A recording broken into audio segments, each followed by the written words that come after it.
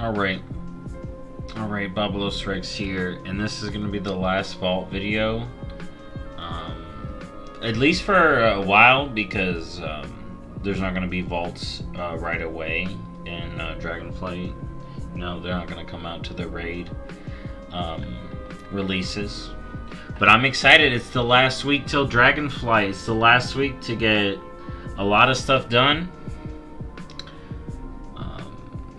You don't have your KSM already, if you don't have your Slime Kitty, if you don't have Veil Strider, if you don't have your Head of the Curve mount, this is the last week to finish everything up.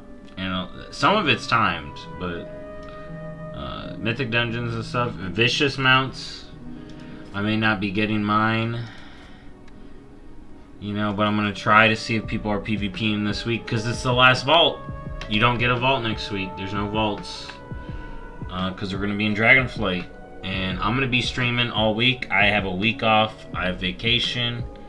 I'm going to be chilling and playing dragons all the time on stream. So let's get to these vaults. I'm probably going to be getting motes for crafting mounts, most likely. I only got two. Oof. Let's just get this. It's 50 uh, Genesis motes. I haven't been playing much this last week. I've been playing Pokemon.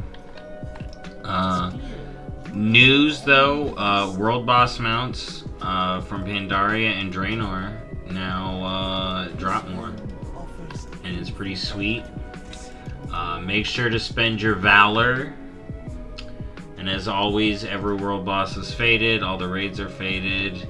There's no event going on this week either. Um, you know, it's the it's the last week of Shadowlands. I'm excited.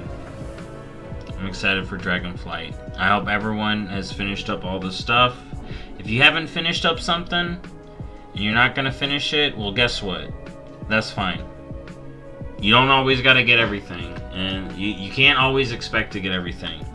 Some things are more important. Real life is always more important than a game. So if you're busy with that, you know, it makes sense. If you're busy with other games, then you know you're probably having fun. So that's good too. Yep. Just a bunch of Genesis motes. I'm going to be trying to finish up a lot of Shadowlands stuff this week. I got a lot of campaigns to do. I'm going to be streaming a lot this week. Hopefully I can get in on the Ichabod thing. If I don't, well, I'll let you know if I am. Uh, that'll be sweet. I may do a weekly video uh, next week uh, about how I'm liking Dragonflight. Maybe, maybe like a little review of how how I'm doing. How's everything doing? Um, but that's it. That was the last Vault of Shadowlands. Uh, 150 Genesis motes. Gonna help me make some pets. Good luck on your world bosses. Hope you have a good lunch at Dragonflight. And uh, I'll see you um, next week in whatever kind of video I throw together.